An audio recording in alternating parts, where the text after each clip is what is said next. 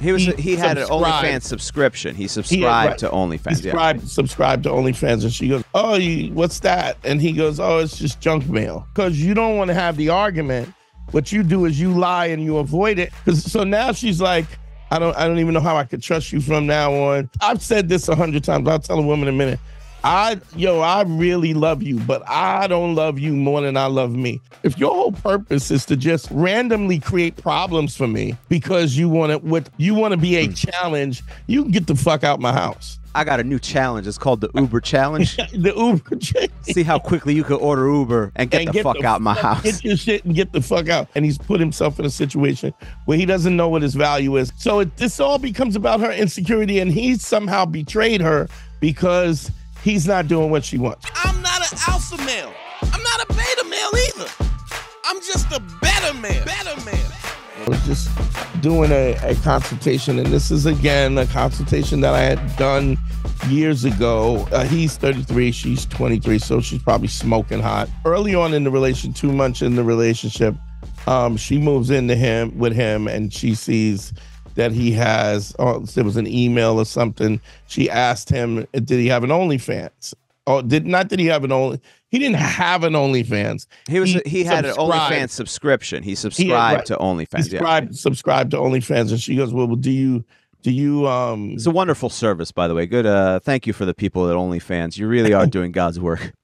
And he goes, "Well, do you do you watch it?" And he goes, "Sometimes." And he lets it. it- it- you know, she kind of because it's early on in the relationship. I have an OnlyFans, but I look at it every once in a while. But I'm not like a guy who's obsessed with OnlyFans. Right, right. justification, just a lot Right. of justification. even if he was, here's the thing, even if he wasn't justifying it, even if he was being 100 percent honest, th- it wouldn't matter. She stored that 14 months into the relationships.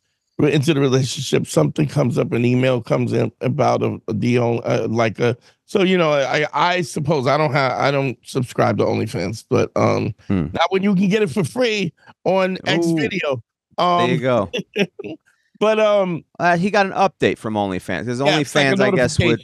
I assume it's like Patreon. They would update you yeah, yeah. on uh, hey, I got Which new is a good content. out. point. People- Patreon.com Yeah. slash man school 202. Subscribe, like, and subscribe. Subscribe to the YouTube channel. Y'all want consultations? Hit me at DanteNero.com. Click on consult if you want to consultations from Harry. Go for advice from Harry uh, at gmail.com. Yeah, that's Uh, we help you out with your relationships and and Like, whatnot. and don't forget to hit the bell because when I go live or when we have something or we post a video, you you're the first one that get gets notified about it. Um, but it, it, she, so he got an update. He got an update. She saw that he got an email update, which I like. By the way, OnlyFans, uh, you know, artists. I don't know what you call them, but people Artists, who make it OnlyFans are like, "Hey, I'm dropping a new Content project. It's me showing my pussy." like, like, hey, it comes out this Tuesday. I know you guys been waiting for my a shot of my asshole. Here it is, Liz, everybody. I'm Release. fingering my gooch on Tuesday the, the 14th. Check it out. Album in stores. So so um so she starts up with this OnlyFans thing again. This is 14, 12 months uh, 12 months later, 14 months into the relationship. This and he is what I mean "Oh, by you know, little micro drama. We don't she need goes, this shit. she says, "Oh, you, what's that?" And he goes, "Oh, it's just junk mail, right?" Mhm. Which is not a lie, but the point was he was, uh, you know, it's 14 months in it. He has a he has an, a vested interest in this relationship, and so he don't want no problems in this. And I've said this a hundred times. 99% of the guys that consult with me, they're liars. And when I say that, I don't say that in in a malicious way, but there's three types of lies. Let me cover this again because I have to cover it because you guys don't get it.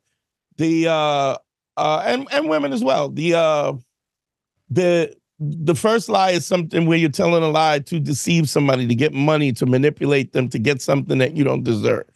The second lie is because you don't want to you don't want to deal with the confrontation. You know, you say what the truth is, you feel like there'll be a confrontational situation that you'll have to deal with. The third is where you lie because you don't want to hurt somebody's feelings. Um, all three of those are still lies. And what you have to understand is the fact that e- even though he didn't really lie by saying it was junk mail, but in deep down the sentiment was that I'm not avoiding doing a it- This is confrontation. no big thing. It's it's just junk mail. So as if as if she was gonna go, oh, I my bad. Let's move on and be a happy couple because But also- already, Sorry, I don't mean to but also one aspect of it is she didn't just ask that out of nowhere. no, because you got to understand when women ask questions, it's not just a just a legitimate curious question a lot of the No. times or some uh, you know when you know the difference instinctually like yeah i know exactly why you're bringing up it's the way a police detective is not just hey what is Right. this we found this at the crime would you know anything you- about this where you coming from? You're Yeah. not. You're fishing. yeah you don't actually fishing care for problem. yeah No. Yeah, and, and if you do care, it's because you have something in mind. There's a certain objective that you're trying to. but So you don't she- care for me you're not asking me legitimately to make conversation this is Yeah. this is this is a question you know like well there's no answer here that's going to benefit me right. it's going to make right. my day better and and and so he goes she goes uh you know so they go to a they go to a museum and there's at this museum they go to which which also is a, a sign of the fact that he's a good guy he's going to some dumb fucking museum exhibit or whatever the fuck so they go to this museum and this guy was uh photographer was was uh showcasing naked pictures of his of his his girl like he took nudes of his girl Oh, and he this photographer did. Yeah. So it was like Right. a gallery exhibit. Yeah, and so she goes. He goes, man. I. He goes. I, I don't know. That's weird. I mean, I, I wouldn't want. and She goes. So, um, she goes. Oh, you you like looking at tits and ass, but you don't like looking at dicks. And he goes, Yeah. yeah, like Yeah. what? Uh, yeah. Like if I was looking at dicks, I wouldn't want to date you. Like you wouldn't even be here. I'd be with Ralph. I mean, him and I would be at this thing. You know, Yeah. it's like it's just that, but it's this picking about the picking of like how can I have a bug? I'm insecure about my situation here. Well, she's I- insecure about. I guess she's insecure about him uh, looking at other women and leaving her in some capacity deep Yeah, down that's inside. exactly yeah. what it is. But she won't say that. She won't say. She may not know that. Yeah, uh, she won't. That won't verbalize. Where if she verbalized that, he he might even be able to resolve this. It's like this has nothing to do with anything. I, you know, I, I watch I watch horror films. Doesn't mean I want to chop people up, cut cut people's heads off. Uh, and like it's just entertain, entertainment. Press. So um, So ultimately, like you're saying, it is it, it what it is. It's an issue of her throwing her emotional insecurities onto you. on him. Yeah. And that's And- what a lot then- of those little arguments are about. Yes. Yeah. Yeah. And then it's and then it's I'm gonna hold you accountable. And because you don't want to have the argument, what you do is you lie and you avoid it. And then it becomes about the fact because so now she's like, I'm uh she's like, I, I don't know if I could trust you. I don't know if we could um I don't I don't even know how I could trust you from now on because you so so then she was Based on what? On, on the this is insane. Let me give you the whole picture.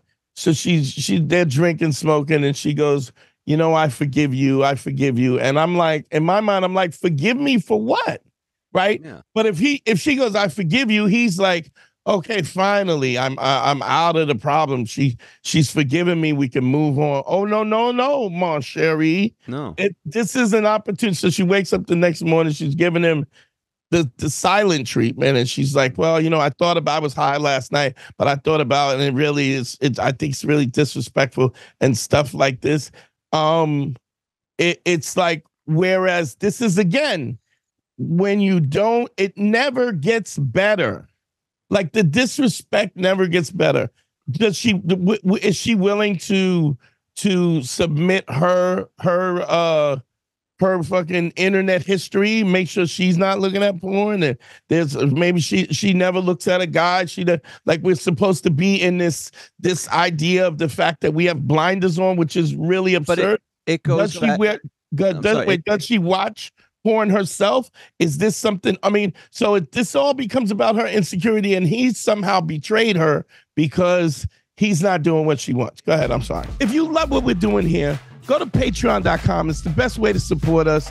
and check out all the bonus content. That's right, patreon.com slash manschool202. We do weekly bonus episodes, we do listener mail, dating tips, and also, if you love the show, you can go back to the archive starting from episode one. All the episodes will be there at patreon.com slash manschool202. No, I was going to say, it also becomes about moving the goal line to what benefits them, because if she was a woman who looked at porn, she wouldn't argue with his porn right? But oh, she might. Oh, that's not true too. She might actually do that as well. Maybe. I mean, how many times have I seen chicks who I've got guys who accused the guy of cheating that wasn't cheating and she was cheating. It there's there's no rhyme or reason, but this is an emotionally arbitrary thing, and what we have to do is remove ourselves from it so that we don't we're not looking at the emotion, we're not being moved by the emotion of it. And I I said, uh, you know, um, so I'm like, well, she's 23 years old. She worked. So then I come, I when I as I'm doing this as this consultation is evolving, she's 23 years old. Does she pay the bill? Oh, it's my house. She lives with me. It's my house. She hurt her foot. She's on disability. She doesn't work, so I'm taking care of her. She can't. She's walking around on with a cane right now. She's got no place to go. But even with all of that, even with the fact that he's keeping a roof over her head, he's feeding her, he's taking care of her, he's giving her a place to stay. And I'm not saying that we should ever be someone who who keeps a spreadsheet, but it's in no way or form does this woman have any means to survive, or at least if she does have means to survive, he is giving her a safe haven to stay with, and all she has to do is take some time out to shit on him about an OnlyFans thing that he doesn't even. He says, "I I, I love her. I've never cheated on her. I, I just I've never cheated on. Never wanted to cheat on her." He says, "We have sex all the time. Sometimes we have sex twice a day, three times a day." He goes, "It's it's it's. It, it, I don't understand where this comes from." And I said, "This comes from the fact that she's testing you and she wants to make sure that you're worthy." And I said to him, "You love her." He goes, "Yes." I go, "Do you love her more than you love yourself?" And he paused. And the minute he paused, my heart dropped. Oh, I was boy. like, oh my God. Like if you have to pause when that commer- that when that question is asked, all is lost. What you are is you are shoplifting the pussy. You're in the Bentley store with $230 uh test driving when you know that you're not you that you don't even belong there you're with a girl who you don't think is that you're worthy of or is out of your league and you're just hoping that she doesn't find out that your self-esteem is so low that she kicks you to the curb Mm. and my my advice to him was you got to go home and break it off which mind you was the same advice you gave him on the last consultation. the last consultation you Oh, had yeah. assessed the whole thing and said See, I'm, "Hey, you trying to remember which one this was because I don't. None of that was that was pre. No, no, no. The, the first relationship was was different than this one. This is the second relationship, but he's put himself in the same position that he's put himself in before, where he doesn't understand what his self his his self worth is. He doesn't understand, what, and he's put himself in a situation where he doesn't know what his value is, and then he's hoping that he doesn't find out. And I go, listen, I already know that you're not willing. If you can, you can't say, I I, I I've said this a hundred times. I'll tell a woman in a minute.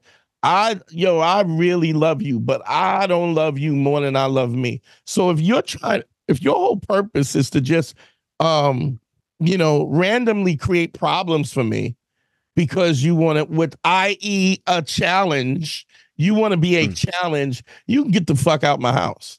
Hmm. I said, so the only solution to this is to go I, home. I got a new challenge. It's called the Uber challenge. the Uber change. See how quickly you can order Uber and get the got- fuck out the- my what's house. The parameters? I've heard of the the ice water challenge. You got is there any buckets or ice water involved, Harry? Is there I any? mean, I mean, if you want to go to the store, oh, the whole challenge is how quickly can you order Uber and get and the fuck out my house. Get your shit and get the fuck out. First of all, get the fuck out my house. So um and and I go, I, he goes, Well, what is there any way? I go, I don't really know. Is there what he's saying? Is there any way I can handle this? I go, No, I go, you have to, she already doesn't respect you.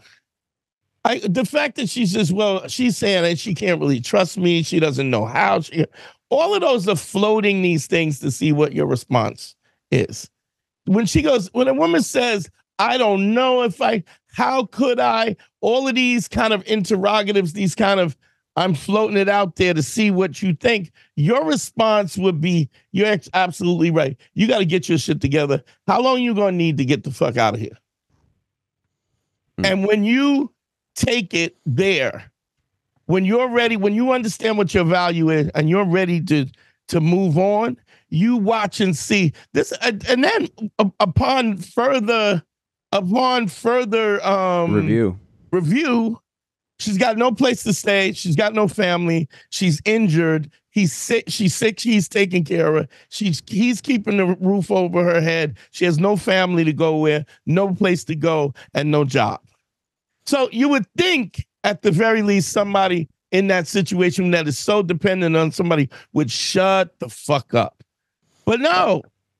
It's the no. arrogance of uh, of being a woman in in that sense because she even even if she's not thinking logically, there's always that thing of I do what I want. This is how I want it, and if I don't get what I want, I'll find somebody else. Even if you're in a situation where you you're in a bad situation, you still think like that mentally. Yeah. That's your thought process. Is uh well, I, I, it's all about me. I can do whatever I this want. This is how I feel. This is how I feel, and I and don't care how you feel. The truth is because I feel doesn't matter I don't have no job. I have nowhere to go. I'm you're keeping a roof over my. You can talk all kinds of crazy shit to me, and I and I'm not a person who ever keeps a spreadsheet. I don't keep a spreadsheet with my family, with my friends, but when it becomes so evident that there's an unfair response to this, which is always evident. I mean, we all know what we give and what we give back and what we what we receive and what we don't receive.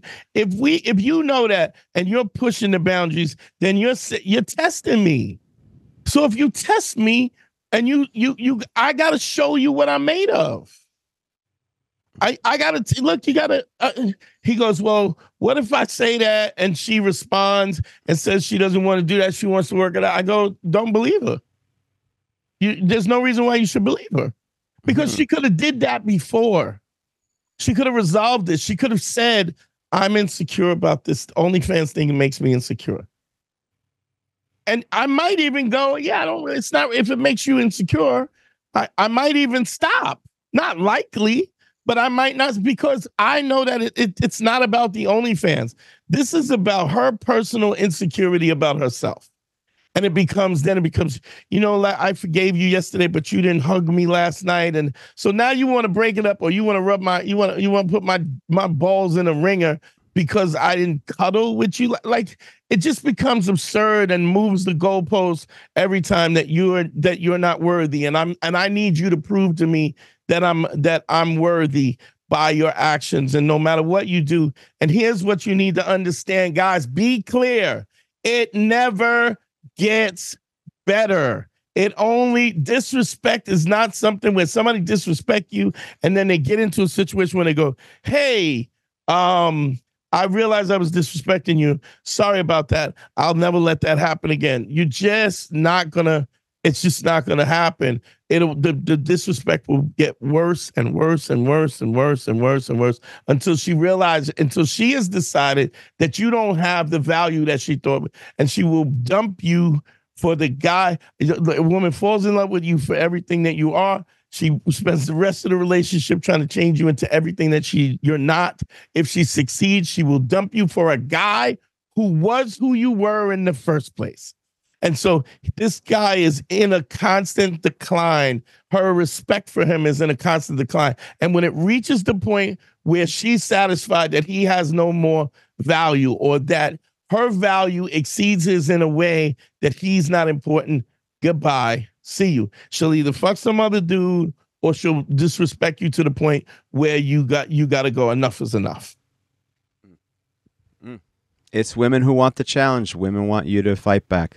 That's what it is. And it's amazing to see somebody Whitney Cummings who's like a 40 year old, never and never once asked, uh, you know, like when you go y'all want a Mercedes Benz, right? Like, uh, so my dream car is a G Wagon, right? But I'm going to ask mechanics, what is the upkeep for a G Wagon? What can I do? How much is it? Like, I'm, I want to know because I want to know that I could I could, you know, it's just like getting a dog. If I get a dog and I get a Dalmatian that needs to be run, that he needs to run in the park twice a twice a day, then maybe I'll get a bulldog that sits around and farts and and that farts and lays around. You know, I had a friend of mine with a bulldog.